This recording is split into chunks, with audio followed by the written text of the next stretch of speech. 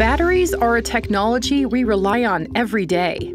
From cars to phones to even medical devices, they've been a part of our daily life for decades. But they're not always the most reliable.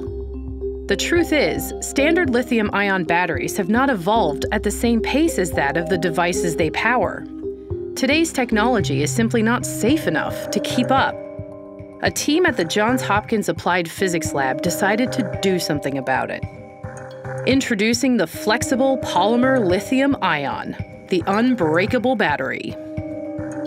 The flexible lithium ion battery operates under extreme conditions, including cutting, submersion, and ballistic impact, and it still works. Now it's taking on lithium ion battery's biggest safety hazard combustion. In short, it won't. Today's lithium ion batteries come with safety concerns primarily because of the organic liquid electrolyte. This electrolyte enables high energy density, meaning long battery life, but it is very flammable. Any adverse operating conditions can result in catastrophic failure. Our team has taken a two-pronged approach to solve this problem. First, we are replacing the liquid with a polymer electrolyte, and second, we're replacing the hazardous organic solvents with non-flammable equivalents.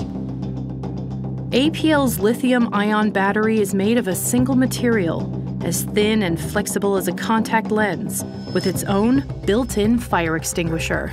All without compromising the performance of the battery compared to equivalent liquid electrolyte devices. Our latest work shows that we can make water-based polymer lithium-ion batteries that are not only safe and practical, but also damage tolerant.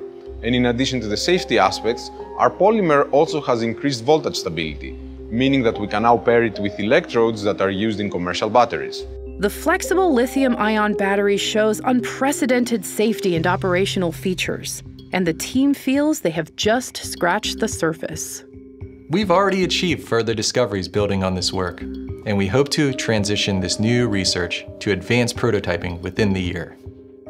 It is the next generation of energy storage stronger, more resilient, and safer batteries.